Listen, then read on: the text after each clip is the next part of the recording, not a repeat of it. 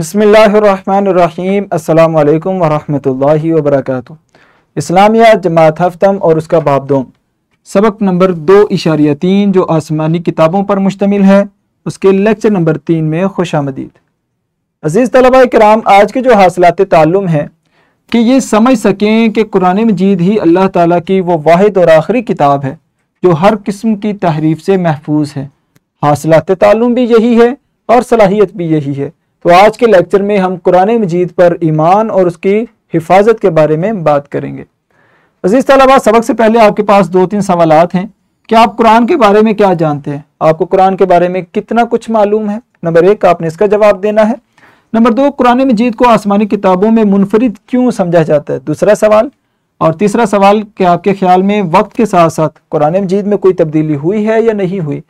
تو میں اساتذہ کرام سے گزارش کروں گا کہ جلدی سے کمرہ جماعت میں ان سوالات کے جوابات معلوم کریں۔ پھر ہم چلتے ہیں بقیہ لیکچر کی طرف۔ عزیز طلبہ، یقیناً آپ نے بڑے ہی اچھے انداز میں ان سوالات کے جوابات جو کہ آپ پچھلی کلاسوں میں پڑھ کے آ چکے ہیں، ان کے جوابات دیے ہوں گے۔ اب ہم چلتے ہیں سبق کے تعارف کی طرف۔ آج کے سبق میں ہم قرآن مجید کی انفرادیت کو سمجھیں گے۔ اسلام میں قرآن کی اہمیت کو سمجھیں گے۔ قرآن کی ساخت کا جائزہ لیں گے۔ تو یہ تین چیزیں انشاءاللہ آج کے لیکچر میں ہم مکمل کریں گے۔ سب سے پہلے قرآن مجید کا نزول۔ اس کے بارے میں بات کرتے ہیں کہ قرآن مجید نبی اکرم صلی اللہ علیہ وسلم پر نازل ہوا۔ آخری آسمانی کتاب جس کے بعد کوئی الہامات نہیں ہے، کوئی الہامی کتاب نازل نہیں ہونی۔ نمبر تین تین تیس حصوں اور چودہ صورتوں پر یہ، ایک سو چودہ صورتوں پر یہ مشتمل صورت ہے۔ قرآن مجید۔ ہے اس میں تیس پارے ہیں اور ایک سو چودہ صورتیں ہیں۔ تو یہ قرآن مجید کا ایک مختصر جو ہے وہ جائزہ ہے۔ اس کے بعد صورتوں کی درجہ بندی۔ صورتوں کو مکی اور مدنی اعتبار سے تقسیم کیا گیا۔ مکی صورتیں ہجرت سے پہلے نازل ہوئیں، ہجرت کے بعد جو ہیں وہ مدنی صورتیں نازل ہوئی یہاں طلبہ غلطی کرتے ہیں۔ اگر ان سے پوچھا جائے کہ مکی صورتیں کون سی اور مدنی کون سی ہیں، تو وہ بتاتے ہیں کہ جو مکہ میں نازل ہونے والی وہ مکی ہیں اور مدینہ میں نازل ہونے والی وہ مدنی ہے تو یاد رکھیں، پیمانہ جگہ نہیں ہے۔ پیمانہ وقت ہے، ہجرت ہے۔ ہجرت سے پہلے کی جو وہی ہے وہ مکی کہلاتی ہے اور ان کو مکی صورتیں کہا جاتا ہے۔ جبکہ ہجرت کے بعد جو نازل ہوئی وہ مدنی ہے۔ حالانکہ قرآن مجید صرف کیا مکہ اور مدینہ میں ہی نازل ہوا۔ اس طرح کچھ حصہ شام یا بسرا یا نبی صلی اللہ علیہ وسلم جب سفر پہ جاتے تو جس سفر یا جس جگہ پہ وہ صورت نازل ہوتی ہے، اس کا مطلب وہ یا تو شامی بن جاتی یا بصری بن جاتی تو اس طرح تو ہر جگہ کے اعتبار سے اتنی صورتیں بن جاتی اس لیے علماء نے دو پیمانہ ایک ہی پیمانہ رکھا اور اس میں تقسیم دو کی اور یہ صحابہ اور نبی صلی اللہ علیہ وسلم کی تقسیم ہے کہ مکی جو ہجرت سے پہلے اور مدنی جو ہجرت کے بعد۔ قرآن مجید اور دیگر آسمانی کتابوں کے درمیان فرق کیا ہے کہ قرآن ہر زمانے اور تمام لوگوں کے لیے ہے۔ اس میں نہ تو زمانے کی قید ہے اور نہ ہی امت کی قید ہے۔ نمبر دو، قرآن مجید قیامت تک مکمل رہنمائی فراہم کرتا ہے۔ نمبر تین، دوسری آسمانی کتابیں مخصوص اوقات اور لوگوں کے لیے خاص تھیں۔ کہ بنی اسرائیل میں اگر ایک کتاب ایک قوم کے لیے تو وہ دوسری قوم اس سے ہدایت نہیں لے سکتی۔ جبکہ قرآن مجید کے لیے نہ تو لوگوں کی قید ہے اور نہ ہی وقت کی قید ہے۔ عزیز طلبہ قرآن مجید کی حفاظت، قرآن مجید کی حفاظت کا ذمہ اللہ تعالیٰ نے خود لیا ہے۔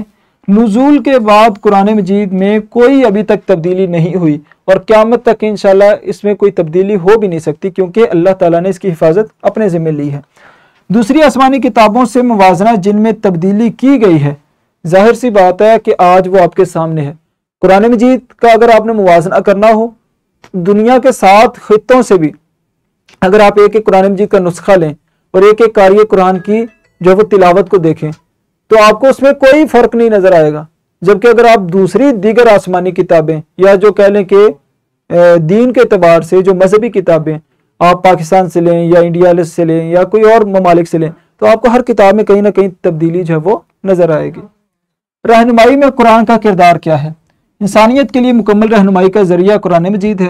زندگی کے تمام پہلوؤں پر روشنی ڈالتا ہے قرآن مجید۔ روحانی اور اخلاقی ترقی کو یقینی بناتا ہے۔ عزیز طلبہ، قرآن مجید پر ایمان لانے کی اہمیت، نجات کے لیے قرآن مجید پر ایمان لانا ضروری ہے۔ اگر اس پر ہم ایمان نہیں لے کے آئے، تو یقیناً ہماری نجات جو ہے وہ نہیں ہو سکتی۔ قرآن مجید کی پیروی دنیا اور آخرت میں کامیابی کا باعث ہے۔ قرآن صحیح اور غلط کا حتمی معیار ہے کہ جو چیز آپ کے لیے جائز ہے، ٹھیک ہے، درست ہے، وہ قرآن مجید نے بتا دی۔ اور قرآن مجید نے یہ بتایا کہ ہم نے کچھ محکم آیتیں بھی نازل کی ہیں، کچھ واضح بھی ہیں یعنی کہ مشتبہ بھی ہیں کچھ۔ اور کچھ درمیان میں حلال اور حرام کے درمیان ایک مشتبہ راستہ ہے۔ جن لوگوں کے دل میں کجی ہوتی ہے، عیب ہوتا ہے، وہ ان مشتبہ راستوں کو چنتے ہیں، جبکہ اہل ایمان کیا کرتے ہیں؟ واضح آیات کا چناؤ کرتے ہیں۔ قرآن مجید کی منفرد خصوصیات وہیں کے بعد سے غیر تبدیل شدہ متن ہے۔ فصاحت اور بلاغت اور لسانی کمال اس میں موجود ہے زندگی کے تمام پہلوؤں کو جامع جو ہے وہ مکمل کرتا ہے۔ عزیز طلبہ خلاصہ کلام یہ ہے آج کے لیکچر کا کہ قرآن آخری اور غیر تبدیل شدہ آسمانی کتاب ہے۔ یہ تمام انسانیت کے لیے مکمل رہنمائی فراہم کرتا ہے۔ روحانی کامیابی کے لیے قرآن پر یقین ضروری ہے۔ تو یہ آج کے لیکچر میں ہم نے ان چیزوں کو مکمل کیا۔ عزیز طلبہ، سبق کی روشنی میں اب آپ کے لیے ایک سرگرمی ہے۔ اس بات پر تبادلہ خیال کریں کہ قرآن کی ہدایت کو جدید زندگی میں کیسے لاگو کیا جا سکتا ہے۔ تو میں سادہ کرام سے گزارش کروں گا کہ جلدی سے کمرہ جماعت میں اس سرگرمی کو مکمل کروائیں۔ پھر ہم چلتے ہیں بقیہ لیکچر کی طرف۔ عزیز طلبہ، یقیناً آپ نے بڑے ہی اچھے انداز میں سرگرمی کو مکمل کیا ہوگا۔ اب آپ کے لیے گھر کا کام ہے۔ کہ زندگی میں قرآن کی اہمیت پر ایک مختصر مضمون لکھیں، اپنی روزمرہ زندگی سے مثالیں فراہم کریں، اگلی کلاس میں مضمون جمع کروائیں۔ ارادہ یہ ہے کہ قرآن مجید کی حفاظت ہم نے پڑھا، قرآن مجید کا کردار اور قرآن مجید کی ترتیب، یہ تین چیزیں آج کے لیکچر میں ہم نے مکمل کی ہیں۔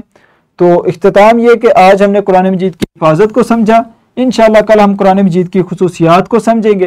لیکچر کے آخر میں آپ کے لیے لیسن پلان اور ورک شیٹ ہے۔ آپ نے اس کو ڈاؤن لوڈ کرنا ہے اور اس سے مزید استفادہ کرنا ہے۔